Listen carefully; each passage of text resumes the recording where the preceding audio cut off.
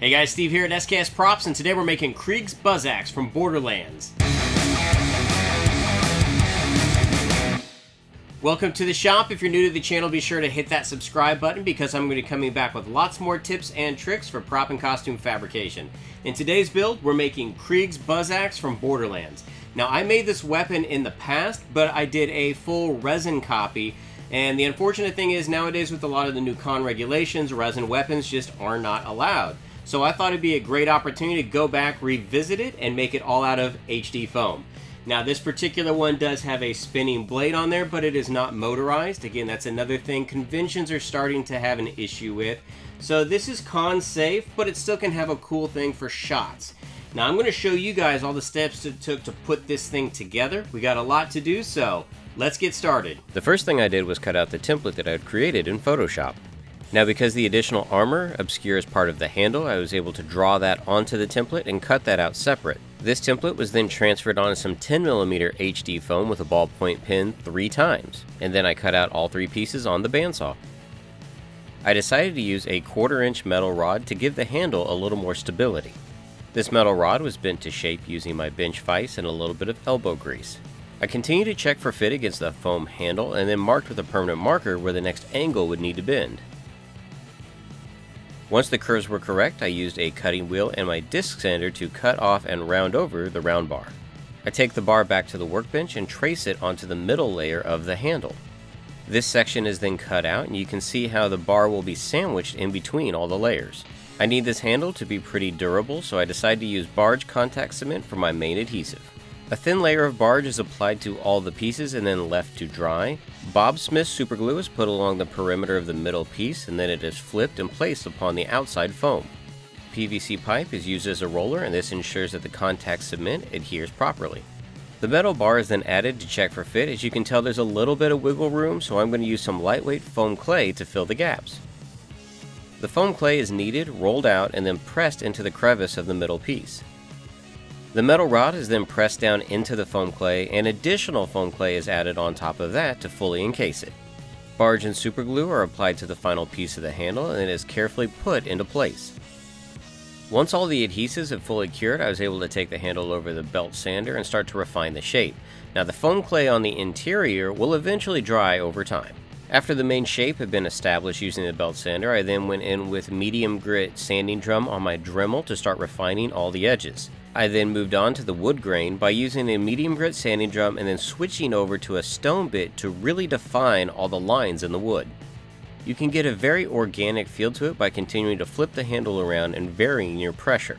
I had a little bit of battle damage and started to smooth everything out with a sanding sponge, and you can see in this harsh light here that it's really starting to take on that organic wood texture. The main part of the blade is drawn onto some 10mm foam with a ballpoint pen and then rotated to complete the full circle. Each one of the teeth are then very carefully cut out on the bandsaw. I really want this blade to spin on the weapon, but I do not want it motorized, so the easiest way to do that, I feel, is to take apart and use a fidget spinner. The spinner is traced onto the foam, making sure that it's precisely in the middle, and then I use a hole saw to cut out the general shape. I want it to be pretty tight so the fidget spinner doesn't have any room to wobble. Once I'm determined that the thing looks pretty good spinning around, I take it over to the sanding station and start to refine all the teeth using my Dremel and a medium grit sanding drum. Once the blade had been heat treated, I went ahead and glued it into place using some Bob Smith superglue and some accelerant, being mindful not to get any of this down into the bearings. Then I go ahead and test it on the wooden dowel that will be used in the final version. This is Krieg's upgraded version of the axe, and so of course it does have the additional armor and blades. These are cut out from the template and then transferred onto some 6mm HD foam. I need 9 blades in all, and the edges of these are tapered using a Dremel. Every time I add something to the blade, I continue to check it for balance and to make sure that it still properly spins. There's a lot going on on the top of this weapon, and to make sure that it all stays in place and is stable, I decided to use some 1 inch strips of styrene. These are then drilled out for the precise diameter of the wooden dowel that I'll be using. Having this as an understructure for all the armor that goes on top also allows me to make sure that I have clearance for the blade to spin freely. I go back to my foam pile and pick up some 2mm HD foam. This will be used to cover up the fidget spinner so it's not seen in the final version. As a prop maker, I usually have several boxes of random parts laying around, and in this case, I was able to find some plastic spacers that worked out great for this build. Once the main structure had been completed, I then started to work on all the armor embellishments that'll go on top. These were then cut out from the templates and transferred onto some 6mm HD foam. Once all these pieces had been transferred onto the foam, they were then cut out on the bandsaw and then mocked up to make sure that it all was to the correct scale. Now I knew that some of these armor pieces needed to be thicker for the final version, so I transferred parts of them to 10mm HD foam. Once they were all sized up, I was able to take them over and sand down the appropriate angles. All the additional flashing could then be taken off just using a stone bit. These sections were then glued to the original 6mm foam template that I had cut out. These same techniques were also applied to the top section of the buzz axe.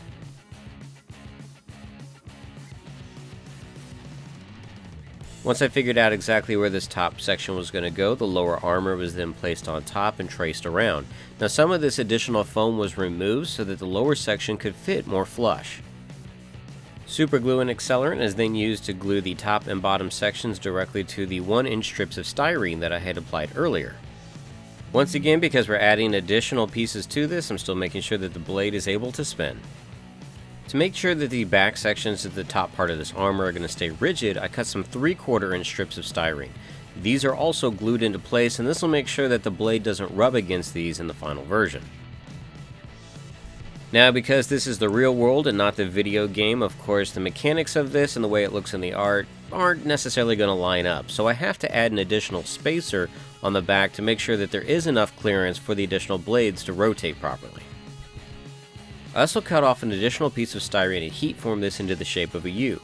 This will make sure that the blade doesn't come in contact with these upper parts and that I've got enough room for it to spin freely. Now that the engineering side of it is established, I can go in with my rotary tools and start cleaning up all the harsh edges on the foam. The bolt sections and additional strips of foam can now be glued in as well. So you can see with all this, it's a little bit thicker than what it is in the game, but it works for cosplay. And just to see how fast this thing can spin, I turn my shop vac on the blade.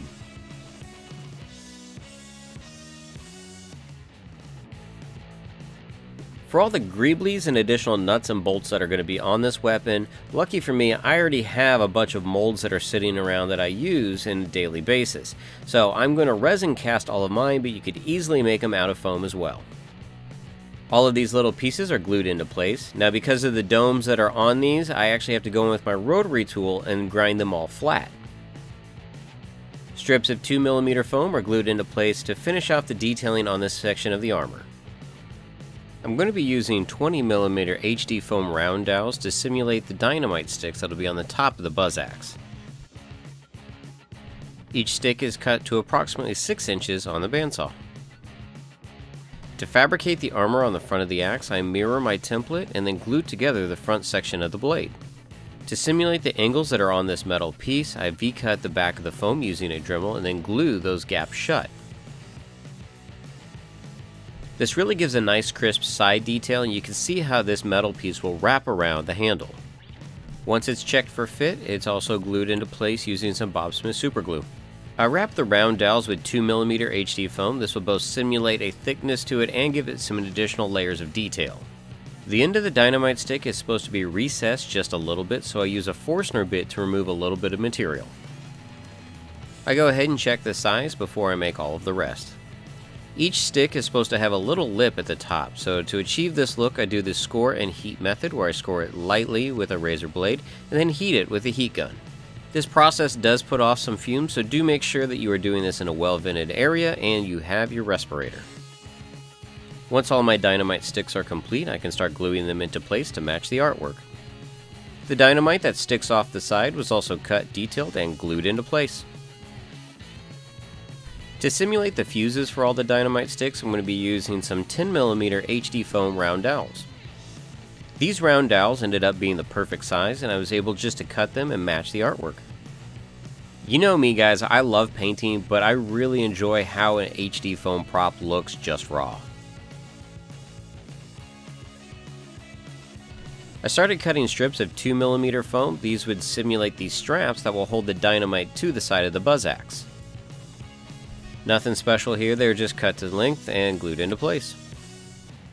To make the cylinder at the top of the buzz axe, I used some 6mm foam and then rounded it over. I then used some 10mm foam and cut circles out to cap the front and the back. For this piece to fit flush on the base of the buzz axe, I took my Dremel and flattened off the details on the base of the cylinder. To finish it off, I took some scraps of 10mm to make the prongs that come out that heat the blade. The cylinder looks as though it has two straps that are kind of holding it into place. One is just a basic metal strap, the other one looks like galvanized hanger tape.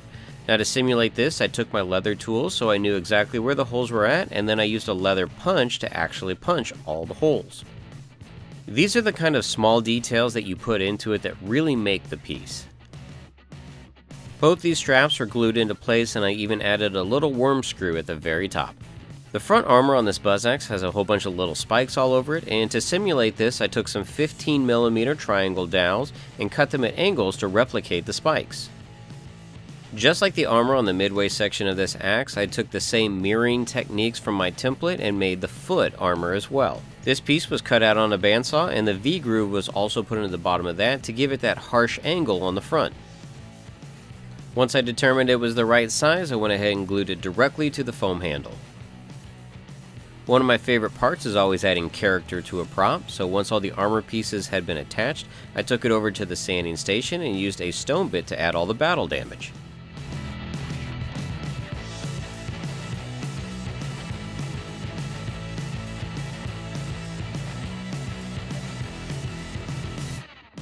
Alright guys, we're done with the construction of this Borderlands Buzz Axe with a con-friendly spinning blade.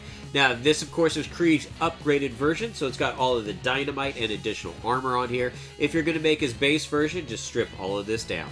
From here on out, we're going to be sealing and painting it. For sealing it, we're going to be using two coats of Plasti-Dip, doing a base coat of Rattle Can on here, then hand painting it using Liquitex Heavy Body Acrylics.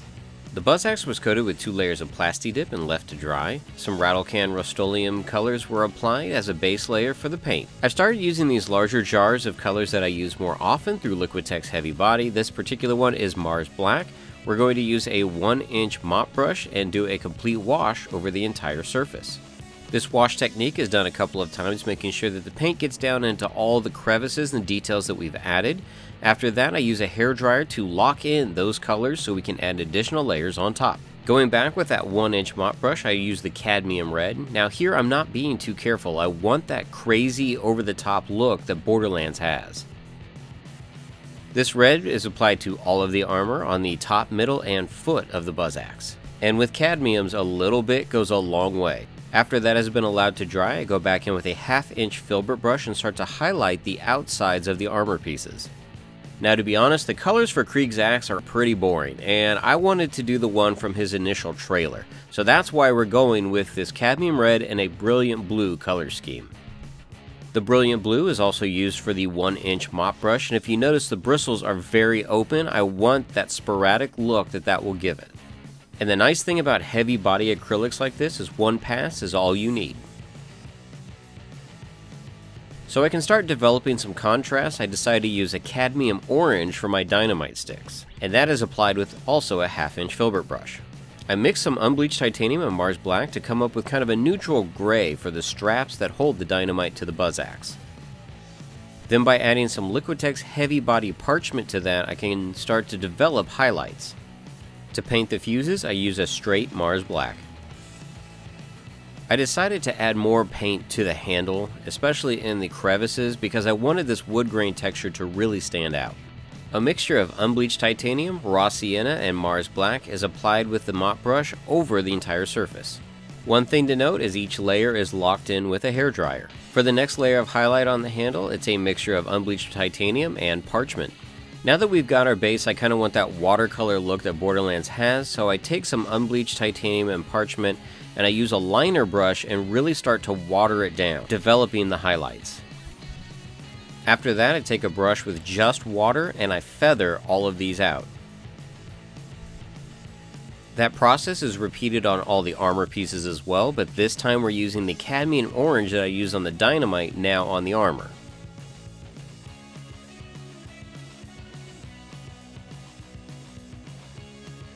For anyone that's ever painted miniatures, this is the exact same process. Start off dark and move all the way through your color scale.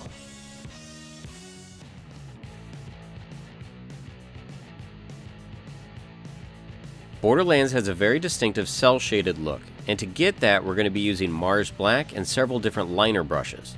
To start off, I'm going to use a detail brush and paint in all the battle damage on the armor. After that I can start outlining each individual piece of armor with the same Mars Black. Now with this process, don't think it needs to be perfect. If you mess up, just take a brush with some water, scrub it on there, wipe it off, and do it again.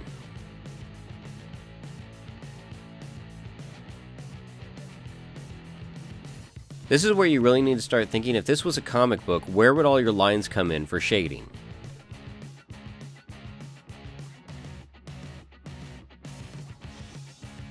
Iridescent rich silver is a metallic and it's added to the blades, the cylinder at the top, the straps, and all the screws. Borderlands highlights are just as vibrant as their cell shading, so in this case I'm using parchment for all of my highlights. I'm using a lot of water and a detail brush.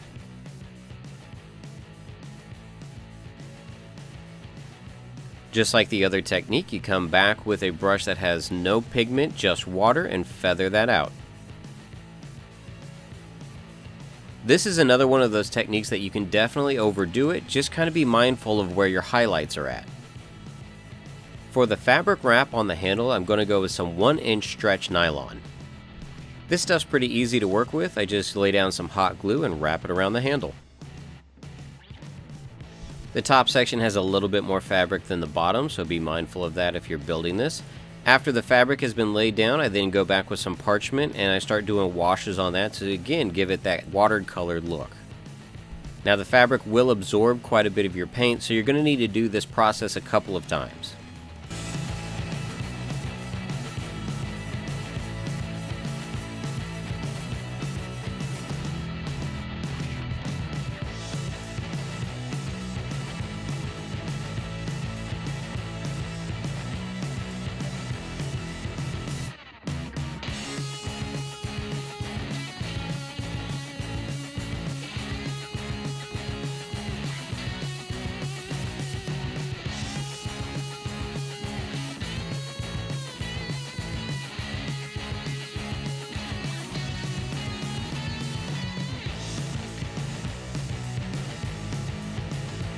So you guys can see the steps that it takes to put together Krieg's Buzz Axe with a con-safe moving blade.